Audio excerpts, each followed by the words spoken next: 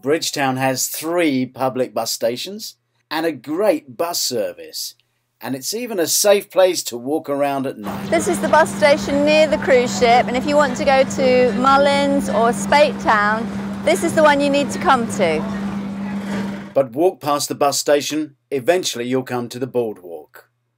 If you like a rum punch and a snorkel, this is the boat for you. They do pleasure trips and guarantee a good time. There's even a bar called the Jolly Roger Tavern. Time for a stop, I think. Or you could march on to the Bridge House, because that's where everybody flocks to, those carrying their towels. The beaches are behind the Bridge House.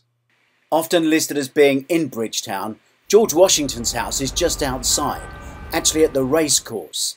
It's on the way down to Rockley Beach. Barbados does have some major departmental stores and promises more to come. But we thought it'd be interesting to go down the back street and have a look at the market.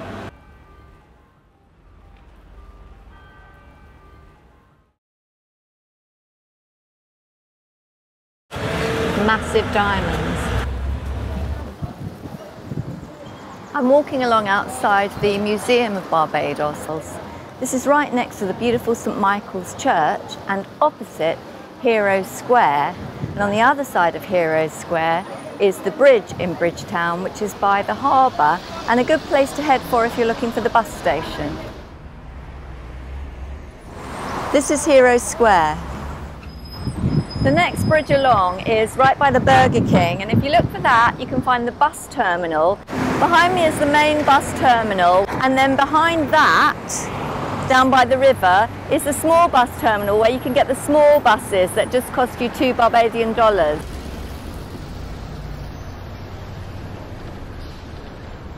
This is one of the main bus garages in Bridgetown. You've got the regular yellow buses, but you've also got the white shared taxis that you jump in and out and you pay $2 and you can go anywhere on the island. Buses all have the destinations on the front of the bus, so it's very easy to find the right bus for where you want to go. It's organised chaos, but it is very organised and you really don't need any other form of transport. Just leaving the Square of Independence. Barbados has been independent since 1966 and there's a plaque of the Right Honourable Errol Walton Barrow. Barbados is normally a quick look round and then off to the beach. If you want to take a bus south, you'll pass the racecourse with George Washington's house, but he only stayed there for a week whilst on holiday. Hastings Beach is the one normally used by the cruise ships, and Art Splash is over the road, that's good fun.